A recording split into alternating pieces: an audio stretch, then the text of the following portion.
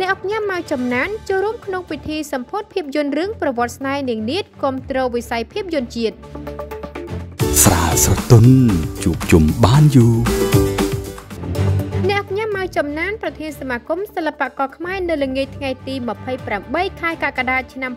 2024បានអញ្ជើញជាអធិបតីក្នុងពិធីសម្ពោធភាពយន្តរឿងប្រវត្តិស្នេហ៍នាងនាថរបស់ផលិតកម្ម LD ដែលប្រពធ្វើឡើងយ៉ាងអធិអធមនៅបរិវេណផ្សារទំនើបខេមលភ្លើងវិញស្រេងថ្លែងនៅក្នុងពិធីនេះអ្នកអញ្ញាម៉ៅចំណានបានវិតម្លៃខ្ពស់ចំពោះការខិតខំប្រឹងប្រែងរបស់ផលិតកម្មក្រោមការដឹកនាំរបស់លោកលៀកលីដាដែលរយៈពេលជាង10ឆ្នាំមកនេះបានផលិតភាពយន្តជាច្រើនប្រកបដោយគុណភាពសម្រាប់បម្រើការកំសាន្តដល់ទស្សនិកជនទូទៅជាពិសេសប៉ុន្មានឆ្នាំចុងក្រោយនេះផលិតកម្មក៏បានសម្រិតសម្រាំងភាពយន្តរហូតមានការទទួលស្គាល់គុណភាពកាន់តែខ្លាំងឡើងហើយថែមទាំងអាចនាំយកភាពយន្តខ្មែរទៅចាក់បញ្ចាំងនៅលើទីផ្សាររោងភាពយន្តអន្តរជាតិជាច្រើនផងដែរម្យ៉ាងទៀតសមាគមមើលឃើញថាផលិតកម្មបានខ្នះខ្នែងគៀកោឲ្យមានការជ្រុំវិនិយោគពីសំណាក់វិនិយោគិនក្នុងស្រុកនិងក្រៅស្រុកហើយក៏បានបើកចំហឱកាសដល់តារាសម្ដែងបរទេសបានជ្រុំសម្ដែងភាពយន្តរបស់កម្ពុជាផងដែរ លោកជំទាវអ្នកអញ្ញាប្រធានសមាគមជឿជាក់យ៉ាងមុតមមថាផលិតកម្មភាពយន្តនានានៅក្នុងប្រទេសកម្ពុជានឹងបន្តផលិតភាពយន្តប្រកបដោយគុណភាពជាច្រើនទៀតដើម្បីពង្រីកចំណាយទីផ្សារភាពយន្តក្នុងស្រុកក៏ដូចជាទីផ្សារក្រៅស្រុក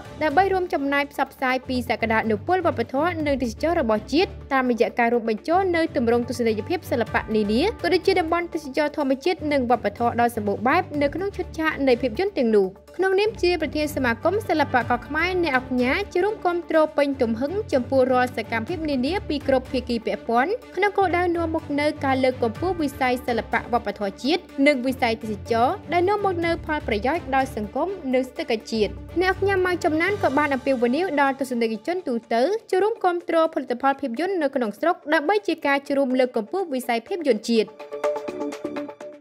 ស្រាលស្រទន់ជួបជុំបានយូរ